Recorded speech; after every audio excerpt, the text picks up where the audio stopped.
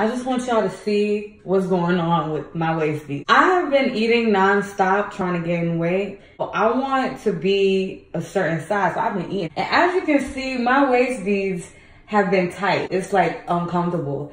And you never want your beads to be this tight and this uncomfortable.